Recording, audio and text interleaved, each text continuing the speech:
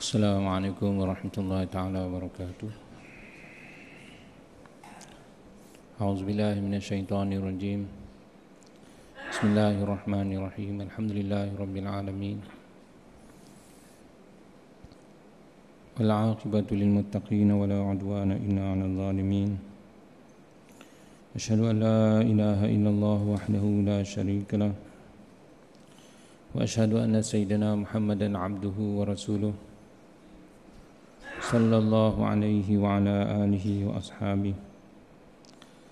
ومن تبعهم بإحسان إلى يوم الدين رب اشرح لي صدري ويسر لي أمري. واحلل عقدة من لساني يفقه قولي سبحانك لا علم لنا إلا ما علمتنا إنك أنت العليم الحكيم. ولا حول ولا قوة إلا بالله العلي العظيم. أما بعد Alhamdulillah, semua Alhamdulillah Malam ni insyaAllah saya akan baca Beberapa hadis Yang berkaitan dengan Pengharapan Atau disebut roja Roja pengharapan.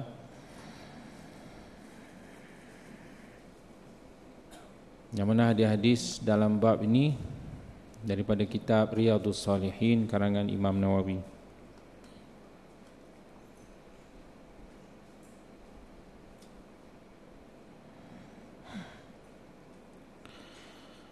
Raja maksudnya pengharapan Pengharapan kepada rahmat Allah Kebaikan Keampunan Banyak biar ada sifat tu kita dengan Allah Ada sifat mengharap dengan Allah Di samping. Kena ada juga Takut. Takut yang disebut khauf Takut. Hmm.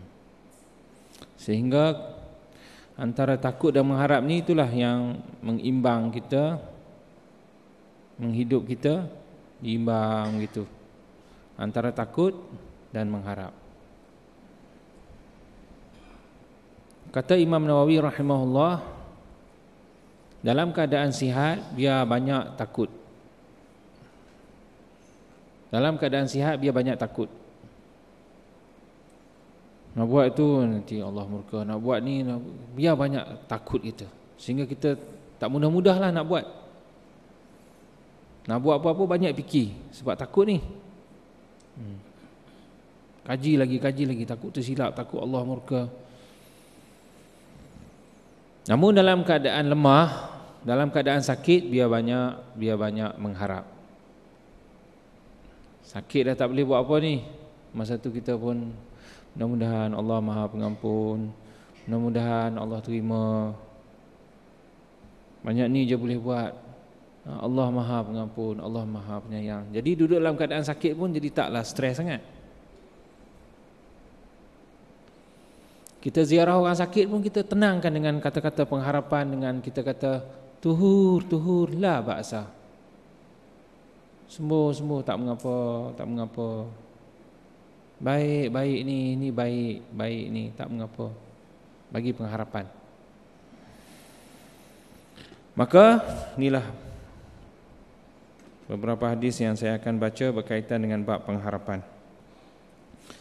Hadis yang pertama an Ubadah bin As-Samit radhiyallahu anhu qala daripada Ubadah bin Samit radhiyallahu anhu berkata dia qala Rasulullah sallallahu alaihi wasallam man syahida an la ilaha illallah wahdahu la syarikalah wa anna muhammadan abduhu wa rasuluhu wa anna isa abdullahi wa rasuluhu wa kalimatuhu alqaha ila maryam wa ruhum min.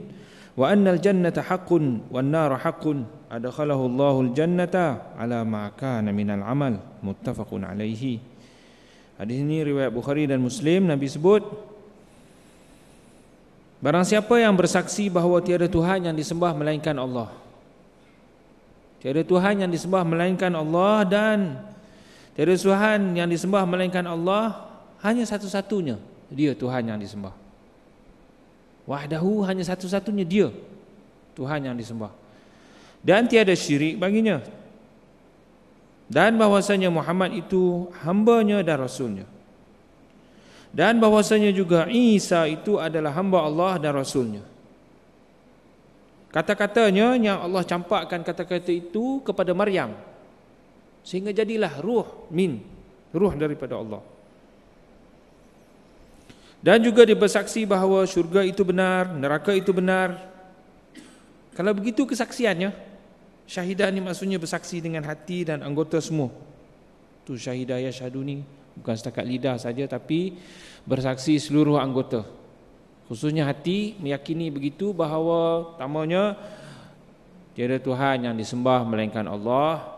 Muhammad itu hambanya dan rasulnya. Isa itu hambanya dan rasulnya. Syurga itu benar, neraka itu benar. Kalau begitu kesaksiannya nescaya Allah akan masukkan dia dalam syurga mengikut amalannya. Kalau begitu kesaksiannya Allah dah masukkan dia dalam syurga mengikut amalannya. Pengajaran yang nak beritahu dalam hadis ni bahawa taruhlah harapan kita pada syahadah kita. Taruhlah pengharapan yang tinggi pada syahadah kita di solat, sebelum tidur, ketika makan. Kalau orang tu jadi muazzin atau bilal, dia bersaksi juga ketika itu.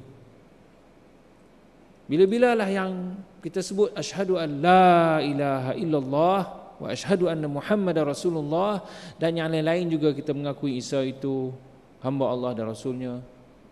Kita mengakui sungguh-sungguh dan kita meyakini bahawa syurga itu benar, neraka itu benar. Sungguh-sungguh kita meyakini begitu. Satu jaminan daripada Rasulullah sallallahu alaihi wasallam kata Allah dah masukkan dalam syurga dah. Jadi dalam bab pengharapan ni di situ pada syahadah kita yang kita bersaksi selalu tu letaklah pengharapan yang tinggi. Itu besar tu kesaksian kita. Besar kesaksian atau faedahnya pada syahadah kita.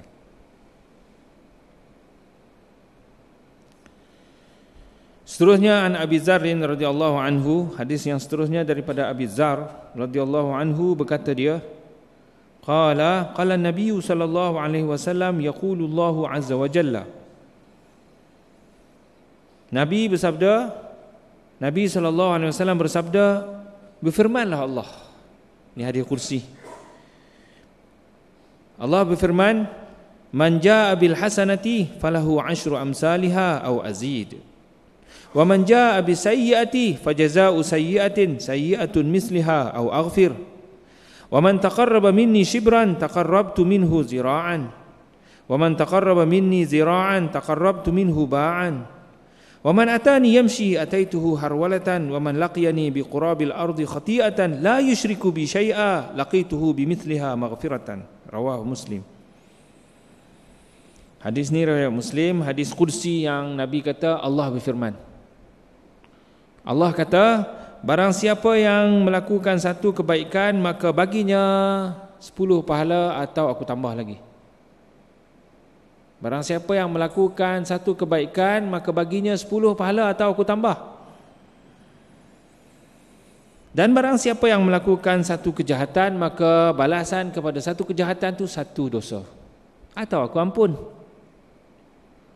Barang siapa yang buat satu kejahatan balasannya satu dosa atau aku ampun. Allah kata lagi, barang siapa yang menghampirkan dirinya kepadaku sejengkal. Ini bahasa ni. Dia menghampirkan diriku agak-agak kalau kira jengkal, ibarat sejengkal, nescaya aku akan hampirkan diriku kepadanya satu hasta. Lebih lagi lah. Lebih. Allah akan menghampirkan diri orang kepada orang yang nak menghampirkan diri kepadanya sejengkal, Allah mari sehasta. Ibaratnya. Kalau dia mari agak bersungguh lagi, sehasta pula, aku akan menghampirkan diriku kepadanya sedepa. Lebih lagi. Barang siapa yang datang kepadaku ibarat macam dalam keadaan berjalan kaki macam berjalan kaki aku akan datang kepadanya berlari. Lebih lagi. Ni pun perumpamaan cakap juga ni. Nak ukur macam mana tu sejengkal sedepa sehasta berlari. Ni ibarat. Kalau seseorang itu datang kepada Allah dalam keadaan berjalan Allah datang kepadanya berlari kalau siapa yang datang kepadaku pada hari kiamat nanti dengan sebanyak sepenuh bumi ini dosanya. Dia berjumpa dengan Allah bersama dengan dosa sepenuh bumi. Namun dia tidak syirik kepadaku. dia tidak syirik kepadaku aku akan berjumpa dengannya sepenuh itu juga keampunan yang ini aku akan ampun dosa tu yang sepenuh bumi tadi pengajaran nak beritahu dalam bab pengharapan pertamanya Allah kata siapa yang buat satu kebaikan maka baginya sepuluh pahala. Maksudnya kepada orang yang melakukan boleh buat satu kebaikan saja. Dia boleh buat satu tu je maka dia taruhlah harapan. Janganlah rasa kecewa banyak ni je aku boleh buat nak-nak pula kepada orang yang memang miskin ke atau orang yang dah uzur dah tua ke tak banyak benda lah yang dia dah boleh buat lalu jangan kecewa Jangan putus asa. Ada kelebihan yang Allah janjikan dah bahawa falahu ashru amsalha baginya 10 pahala seumpama tu. 10 pahala atau aku tambah lagi. Ha ni aku tambah ni ikut niat. Ikut niat. Kalau dia memang mukhlis. Ha, dalam hati dia tu ikhlas sungguh-sungguh buat. Dia pun memang nak buat banyak tapi tak mampu. Banyak tu je mampu. Ha tu ada cerita tambah lagi. Au azid atau aku tambah lagi? Ha. bagi orang yang memang ada usaha dia boleh buat banyak tu je. Yalah tu. Bersyukurlah kalau kita memang boleh buat. Hanya banyak tu saja. Sikitlah kalau nak berbanding dengan orang lain. Sikitlah tapi banyak tu yang boleh buat. Bersyukurlah hmm. jangan putus asa daripada kata Allah aku banyak ni je. Banding orang lain lagi banyak Malu Tak nak buat aku. Aha, tu tak betul. Tu silap lah. Banding-banding dengan orang lain Memang mampu pun. Dia muda lagi Dia memang kaya Dia Tak apalah Allah bagi kelebihan bahagian tu. Jangan putus asa. Terus dengan yang satu tadi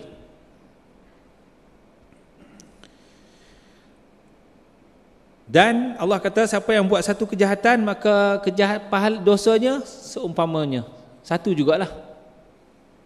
Ha, ini jangan putus asa pada kalau dah buat. Terbuat satu dosa satu dosa saja satu tu je lah boleh jadi Allah ampun. Jangan putus asa pada kata apa?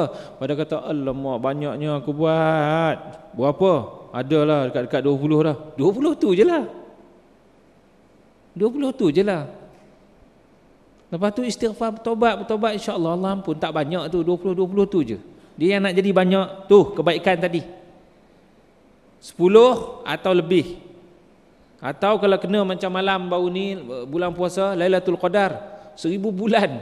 Oh Allah boleh kalau dapat satu malam dalam semua hidup kenalah dalam banyak-banyak Ramadan ada satu Ramadan yang kena malam Lailatul Qadar. Imbang sangat dah. Boleh cover sangat dah. Betapa biar kita ni ada. Jangan putus asa. Jangan putus asa. Dosa tadi Allah kata hanya satu atau aku ampun. Fajaza usayyatin sayyatun misliha au aghfir. Atau aku ampun. Boleh jadi aku ampun gitu je. Diampun dengan sebab nak terampun pun dengan dosa-dosa yang mengkali solat sunat dua rakaat gitu je Kan ada seorang lelaki itu yang dia terpeluk perempuan tu, dia cium lepas tu dia mengadu ke Nabi, Nabi kata, tak lama turun ayat. Minta dia aqimis salata. Innal hasanat yuzhibna sayyiat. Innal hasanat yuzhibna sayyiat. Ayat sebelum tu suruh bangun malam semayang dua rakaat, Nabi kata semayang dua rakaat malam-malam. Lepas tu innal hasanat yuzhibna sayyiat. Sesungguhnya kebaikan menghapuskan dosa.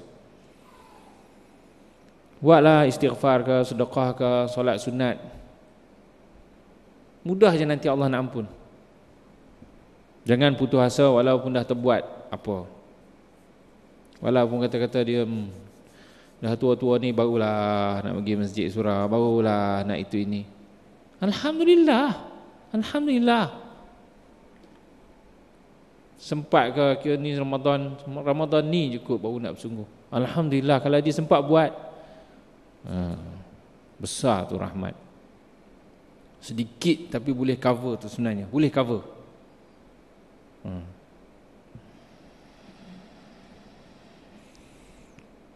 maka Allah pun sebut perumpamaannya bagaimana kata dia lebih baik Rahmatnya mengatasi kemurkaannya. Rahmat mengatasi Allah sebut mengatasilah kemurkaanku, mengatasilah rahmatku, kasih sayangku ke atas kemurkaanku. Sabaqat rahmati ala ghadabi antaranya ni.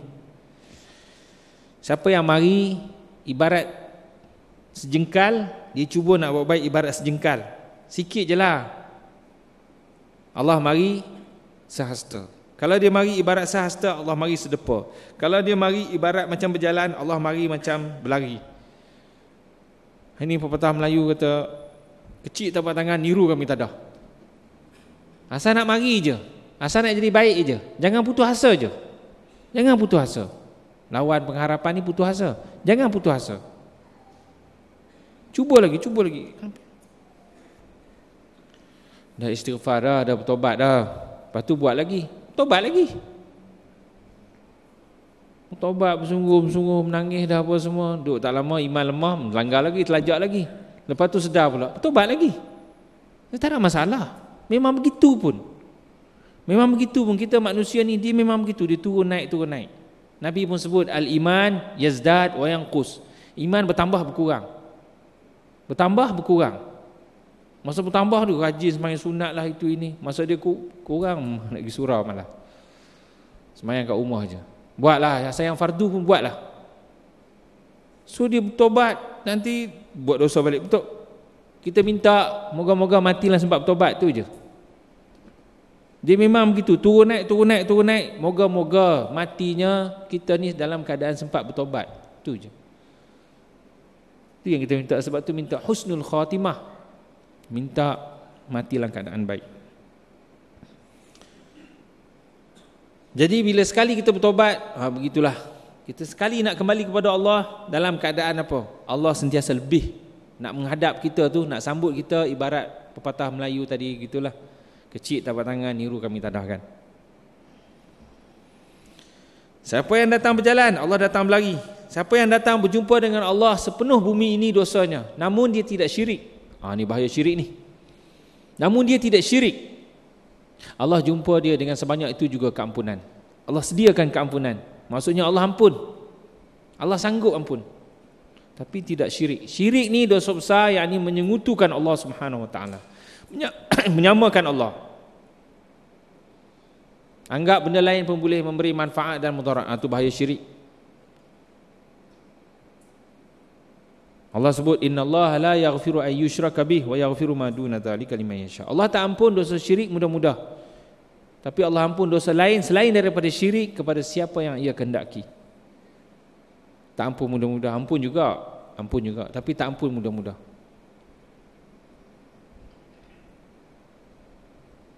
Syirik menyengutukan Allah, menyamakan Allah, ha, itu syirik. Yang ni menganggap benda lain pun boleh memberi manfaat dan mudarat juga. Sehingga kalau ada orang kata alhamdulillah nasi tu kenyang dah. Sekadar nasi tu aja tu pun boleh jadi syirik juga. Panadol makan panadol lega dah. Setakat tu aja. Ah tu bahaya. Taat kepada makhluk tu kan sampai kata dia itulah boleh memberi segala-galanya. Ha tu syirik. Adapun kalau kita anggap ada lagi lepas pada itu sebenarnya Allah yang bagi. Allah izinkan. Allah izinkan. Pada penedol ke nasi tu ke mengenyangkan Allah juga yang suruh makan suruh rehat suruh kerja suruh usaha. Hanya sekadar perum- sebab saja. Nak jadi sebab pada nasi ke penedol ke kerja tu ke. Ha, itu tak apa lagi. Itu cakap-cakap orang awam itu tak mengapa. Orang awam memang begitu cakap dia. Alhamdulillah makan nasi kenyang Ha, kalau perasan nasi ke bagi kenyang? Oh, sebut alhamdulillah tadi kan? Oh, dia sebut dah alhamdulillah. Ha, itu tak mengapa. Tapi ni puja syaitan, puja jin, puja akhirnya taat sungguh-sungguh sehingga menganggap dialah yang memberi manfaat mudarat. Ha, itu bahaya. Itu bahaya. Tapi kalau dia tidak syirik namun dosa-dosa lain dia adalah buat. Dosa-dosa lain ada. Allah ampun. Yang penting jangan putus asa. Boleh buat satu, sila teruskan yang satu tu. Ada dosa satu dua yang buat tu minta ampun kepada Allah, mudah-mudahan Allah ampun. Tak banyak pun. Mudah je Allah nak ampun sebenarnya. Hadis yang seterusnya an Jabirin radhiyallahu anhu qala daripada Jabir radhiyallahu anhu berkata Jabir Ja'a Arabiyyu ila Nabi sallallahu alaihi wasallam qala telah datang seorang badui kepada Nabi sallallahu alaihi wasallam lalu dia berkata Ya Rasulullah mal mujibatan qala man mata la yushriku billahi syai'a dakhala al jannata wa man mata yushriku billahi syai'an dakhala an nar rawahu muslim Hadis ni riwayat Muslim. Jabir kata telah datang kepada Nabi seorang badui. Orang padang pasir Arab. As, orang asli padang pasir. Dia datang lalu dia berkata, "Wahai Rasulullah, apakah dua benda yang pasti?" Apa dua benda yang pasti? Benda itu pasti berlaku. Allah pasti buat. Itu dah janji Allah pasti berlaku. Apa benda itu? Nabi kata siapa yang mati tidak syirik kepada Allah masuk syurga itu pasti. Dan siapa yang mati syirik kepada Allah masuk neraka itu pasti. Siapa yang mati tidak syirik kepada Allah tadi ya dia tak buat dosa besar tu. Dia pasti masuk syurga. Dia pasti masuk syurga. Dia tak sembah benda lain, dia tak menganggap benda lain tu memberi manfaat dan mudarat. Tidak taat kepada benda lain besar sampai sampai sampai sanggup maksiat kepada Allah. Tak sampai tahap tu. Dia tak syirik kepada Allah lah maknanya. Masuk syurga dan siapa yang syirik kepada Allah masuk neraka. Kira-kira dalam bab pengharapan yang Imam Nawawi rahimahullah bawa benda ni satu nak beritahu bahawa jangan buat benda ni je. Ni dosa besar. Kemudian kalau kita memang tak buat benda ni, ha, tahulah pengharapan. Tahulah pengharapan bahawa mudah-mudahan kita masuk syurga. Ada pengharapan tu. Kita memang selama ni kita tak adalah nak puja jin ke syaitan ke apa benda-benda begitu tu. Kita memang penyerahan kita, keyakinan kita hanya kepada Allah. Ha, mudah-mudahan lah. Mudah-mudahan kita kata. Hmm. Dan kalau pun nanti masuk neraka, kalau pun nanti masuk neraka disebabkan banyak banyak dosa ni, Allah tak ampun. Kalau Allah tak ampun, tetapi tidak ada syirik. Tidak ada syirik. Masuk syurga juga akhirnya. Masuk syurga juga akhirnya. Oh ni kelebihan iman. Kelebihan iman hmm, akhirnya masuk syurga juga. Tapi kalau ada syirik, itu ah, memang tak lepas. Masuk neraka boleh jadi kekal abadi kekal selamanya. Habis itu. Hadis yang seterusnya wa an Anas radhiyallahu anhu anna Nabiy sallallahu alaihi wasallam wa Muaz radifuhu ala rahlin. Qala Daripada Anas radhiyallahu anhu bahwasanya Nabi sallallahu alaihi wasallam bersama dengan Muaz naik satu tunggangan Muaz naik sekali membonceng atau kita kata naik sekali tunggangan Nabi sallallahu alaihi wasallam lalu ketika itu Rasulullah bersabda Ya Muaz qala labbaika ya Rasulullah wa sa'daika qala ya Muaz qala labbaika ya Rasulullah wa sa'daika qala ya Muaz qala labbaika ya Rasulullah wa sa'daika salasan qala ma min abdin yashhadu la ilaha illallah wa anna muhammadan abduhu wa rasuluhu sidqan min qalbihi illa harramahu Allahu 'ala an-nar. Muttafaqun alaihi. Hadis ini riwayat Bukhari dan Muslim. Anas kata dia cerita tentang Nabi bersama dengan seorang sahabat lain yang namanya Muaz. Anas sahabat Nabi, Muaz pun sahabat Nabi. Anas tengok Rasulullah wasallam bersama dengan Muaz naik satu kenderaan, satu tunggangan. Yang kira-kira boleh, boleh naik sekali ni Boleh naik sekali ni satu sifat yang baik lah Yang telah ditunjukkan oleh Rasulullah SAW Satu sifat yang baik Boleh berkawan dengan sahabat Sampai boleh naik sekali Makan sekali, duduk sekali Begitulah Hebatnya kita kata Rasulullah ni menjadi contoh yang baik sebagai pemimpin ke, sebagai suami ke, sebagai kawan ke, peniaga ke, perang ke, apa ke, masya-Allah. Kalau cerita kawannya tengok kawan Rasulullah berkawan sampai macam mana. Boleh naik sekali. Kalau kita pun naik motor naik sekali kan. Nak mari surau naik motor sekali. Wai. Kalau suami isteri naik motor sekali oh romantik sangat lah tu. Masya-Allah. naik kereta okey lagi naik motor. Oh masya-Allah. Naik kereta pun masya-Allah. Ada orang lain jiran tumpang. Masya-Allah. Baik sangatlah maknanya. Kemudian sambil-sambil itu Rasulullah berbual dengan Muaz. Rasulullah kata, "Ya Muaz, labbaika ya Rasulullah." Muaz pun kata, "Labbaika ya Rasulullah wa sa'daika." Ya, wahai Rasulullah. Ya, wahai Rasulullah. Hmm. Duduk tak lama, "Ya Muaz." Rasulullah panggil lagi. Muaz pun, "Labbaika ya Rasulullah wa sa'daika." Ya, wahai Rasulullah. Ya. Duduk tak lama, ya Muaz. Muaz pun labbaik ya Rasulullah wa sa'daika. Tiga kali. Salasan. Tiga kali. Ni ni dia panggil tambah mesra lagi. Tadi naik sekali itu memuncing atau tumpang atau kita kata naik sekali itu mesra sangat dah. Ni ni tambah mesra lagi dengan dalam suasana bercakap pula. Tadi tindakannya naik sekali lah. Bercakapnya pula Rasulullah sampai panggil sahabat tu tiga kali. Panggil tu bukan kerana Muaz pekak ke ataupun kawan ni pun tak kerti bahasa ke. Panggil tiga kali bukan. Ini dia panggil nak tambah mesra. Tambah mesra. Memang begitu keadaannya orang Arab kalau kita pun begitu. Tegur menegur kan. Dia panggil tak nak suasana mati. Suasana tak mati. Ha. Salah satu cara nak mesra suasana jangan bagi mati, jangan diam maksudnya. Buatlah apa-apa yang tegur-tegur ke. Nak pergi mana tu? Pergi surau ah. Pergi surau jom kita, jom jom jom jom. Ha, sama-sama.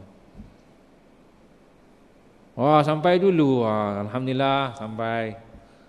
Hmm. Nanti nak balik? Ah, ha, balik dah kah? Ha, balik. Tegur-tegur begitu. Memang nak balik pun ni nak pergi mana lagi.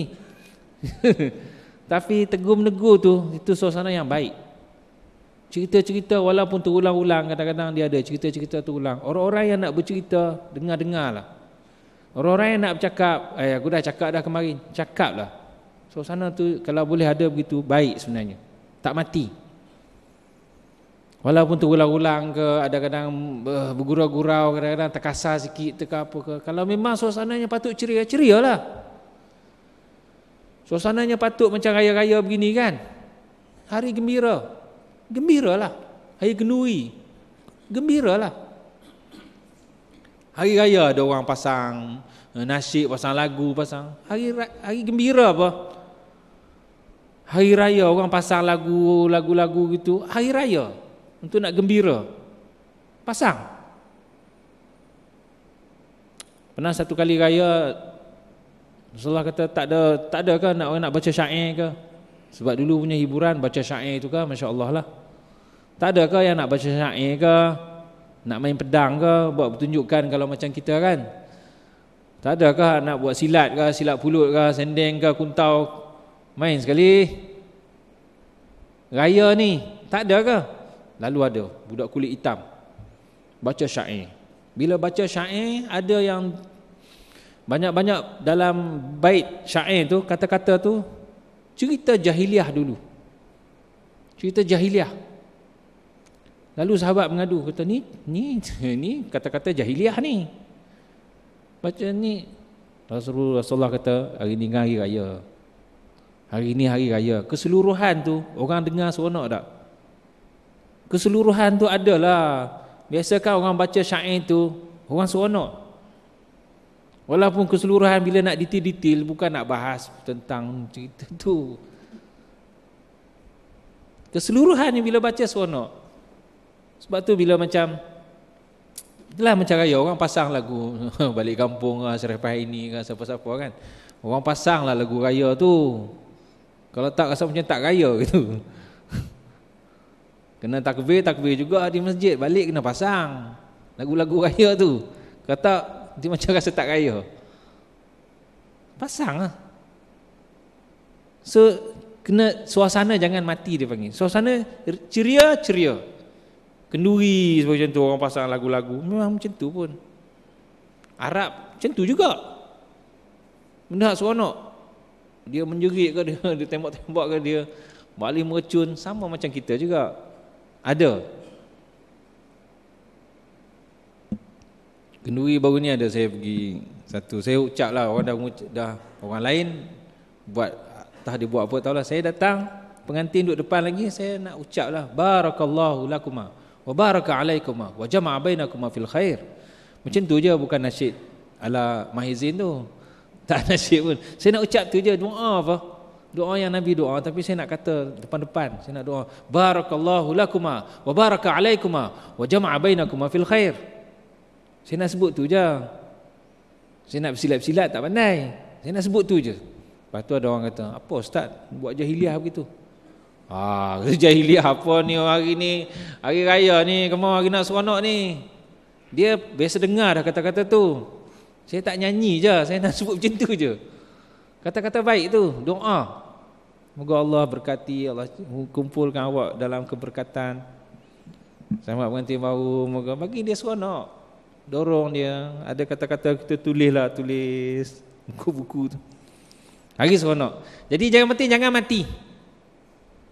Kita nak balik ke betul-betul tegur, lah. Walaupun nanti sekali-sekali dia ada lawyer buruk, ah, kita pun ketawa-ketawa macam tu. macam dulu kan ingat lagi. Uh, ada je orang tengah mandi-mandi kita tegur buat apa tu? Mandi. Buat tu, buat tu. So kain. Tepi-tepi parit tu kan. Tapi ada yang tegur tengah buat apa tu? Makan nasi. Ha?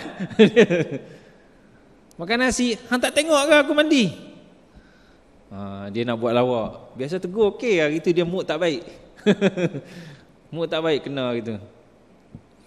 Jadi bertegur-tegur gitu. Suasana jangan mati. Seperti Rasulullah sallallahu alaihi wasallam dengan Muaz begitulah.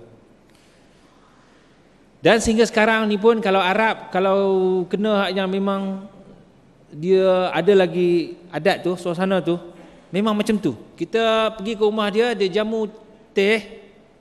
Dia jamu teh. Kita nak perhabis secawan teh kecil dia tu. Dia berapa kali kaifahaluka?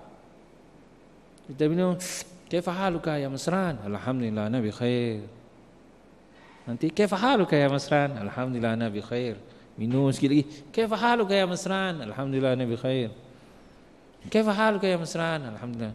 Kat 20 kali dah. Biasa. Saya pun dah tahu dah.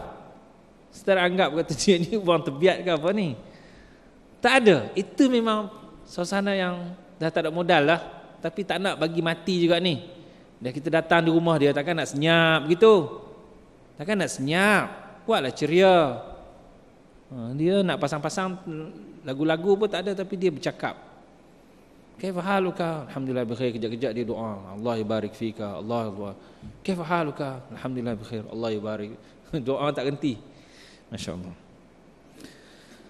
Muaz pun faham dan Rasul Muaz jawab dengan satu jawapan yang hebat pula. Wah, ni satu jawapan yang hebat pula. Iaitu Muaz sebut labbaika ya Rasulullah wa sa'daika. Ini satu jawapan yang hebat. Kenapa kata hebat? Kerana labbaika itu tu satu kalau nisbah kepada jawapan itu tahap jawapan yang paling tinggi lah. Nak menyaut. Tahap menyaut yang paling tinggi. Biasa-biasa boleh je kalau orang panggil ya fulan. Naam.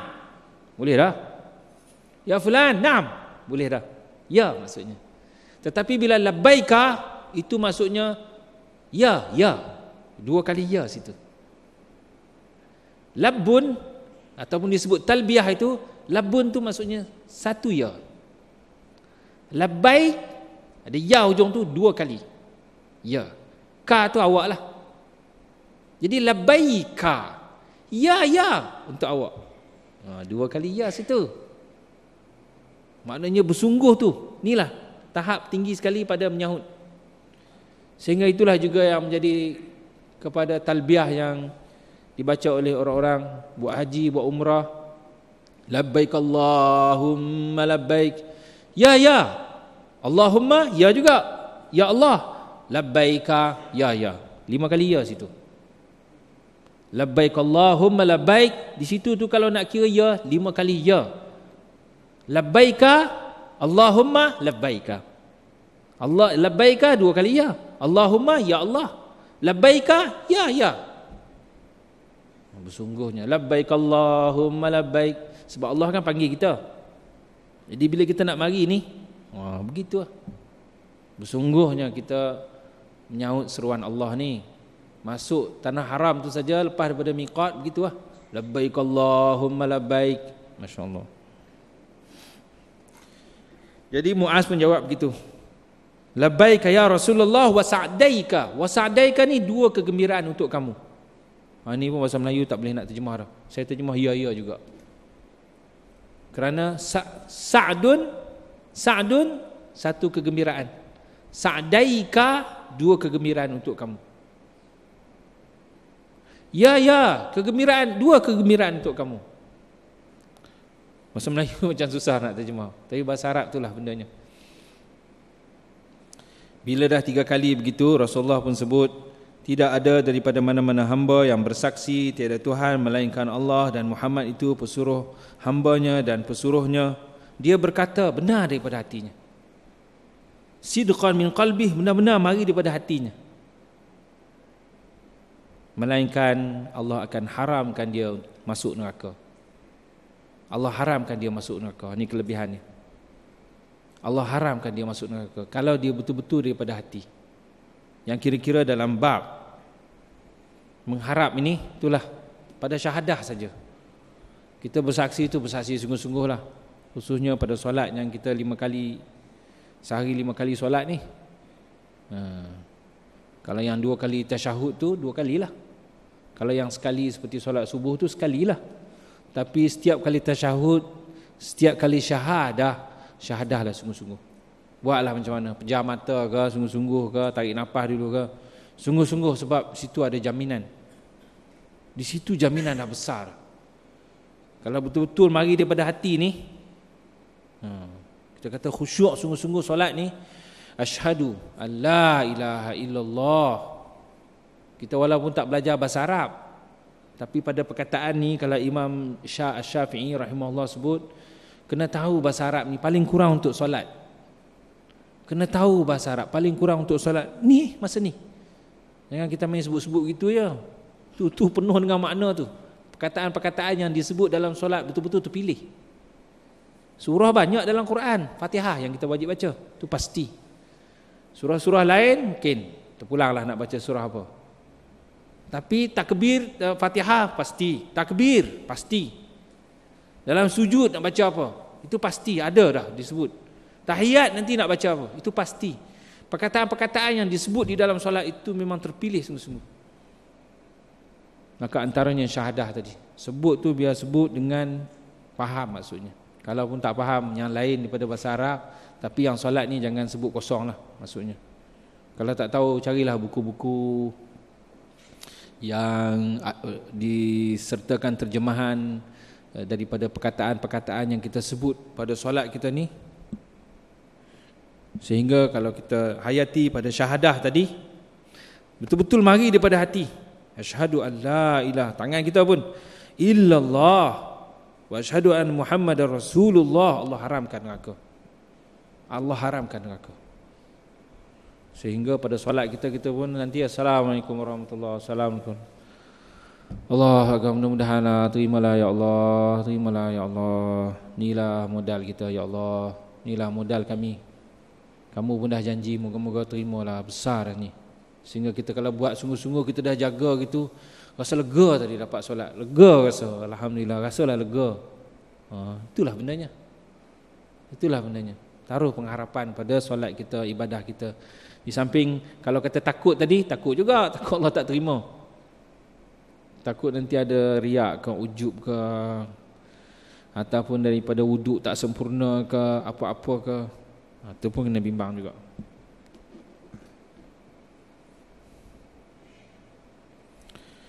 Habis itu dalam bab uh, Ar-Raja daripada beberapa hadis tadi. Dalam 3 minit ni seperti biasa, akhir ni saya seperti biasa uh, iklan tentang uh, siapa nak dengar satu hari satu hadis dari dalam melalui Telegram, melalui Telegram mendengar. Satu hari satu hadis. Ada rakaman suara hadis daripada kitab Riyadhus Shalihin rakaman suara saya 5 minit 5 minit. Ambil nombor ni 019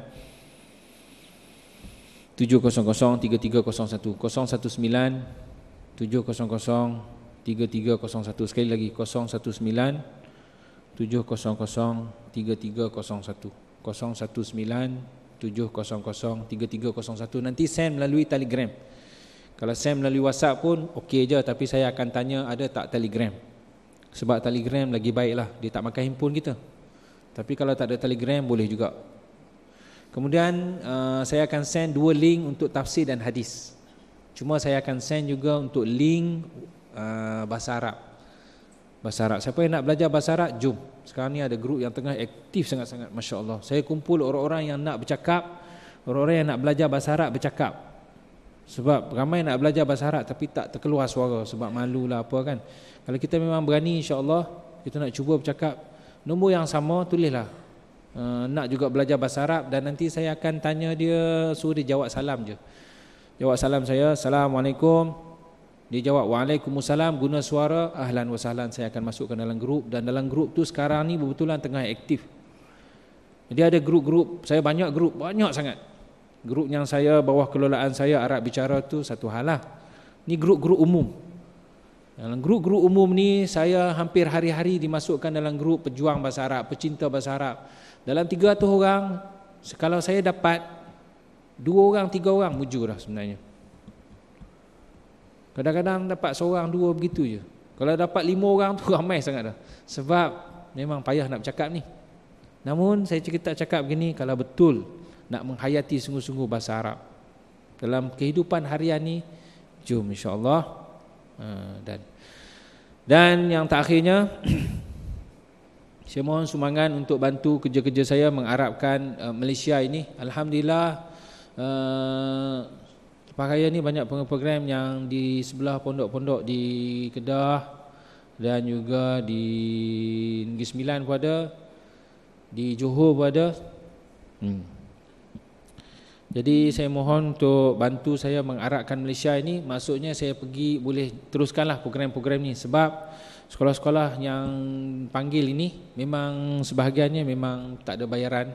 Sebab saya pun tahu kalau letak bayaran agak berat sikit lah sekolah-sekolah tu memang sekolah tu pun berat juga. Jadi kami akan pergi tim kami akan pergi. Jadi kami akan duduk berhari-hari di sana. Berhari-hari di sana. Untuk tujuannya mengarabkan sekolah-sekolah tu. Maksud mengarabkan Malaysia iaitu mengarabkan sekolah-sekolah. Dengan cara kami duduk bergaul dengan pelajar. Tak buat kerja lain lah. Duduk dengan pelajar. Kalau asrama tu memang ada katil saya lah. Minta. Sehingga nanti bergaul, main bola apa semua Sampai bergaduh pun kami ajar bergaduh. Tapi dalam bahasa Arab.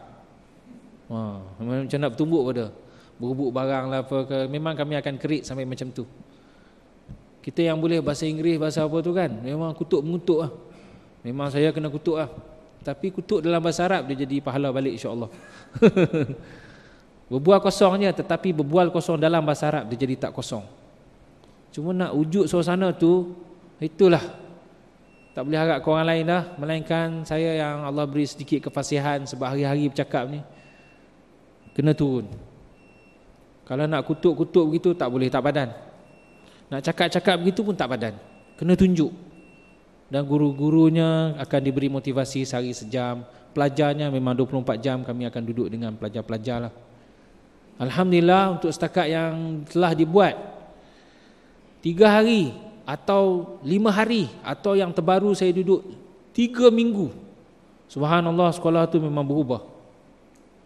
Memang berubah sebab pelajar kita perkataan dia memang hafiz dia memang cemerlang orang kita Masya Allah Memang sekolah yang selama ni saya ibarat menangguk di air yang jernih sebenarnya. Bukan berat pun nak buat benda tu.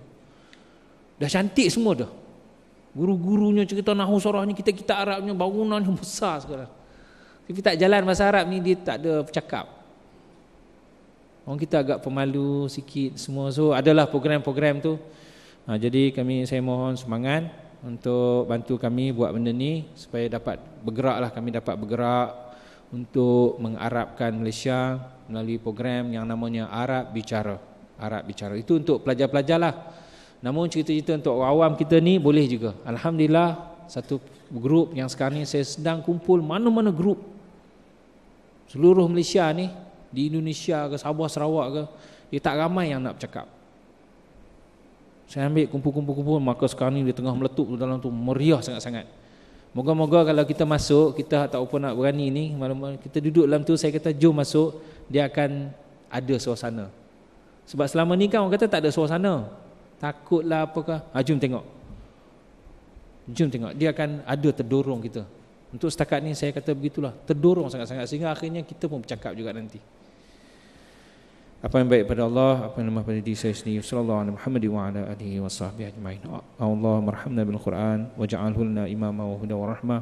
Allah zakirna min huma nasina wa alimna min huma jahilna warzuqna tilawatahu ana al-lail wa atraf an-nahar waj'alhu lana hujjatan ya rabbal alamin walhamdulillah.